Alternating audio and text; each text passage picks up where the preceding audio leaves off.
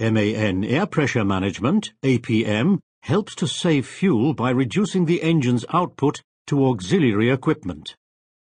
With APM, the continually running standard compressor with rigid drive is replaced by a new compressor system that can be switched off. The multiple disc clutch automatically cuts the power flow when the air tanks reach the shutoff pressure and the compressor comes to a standstill.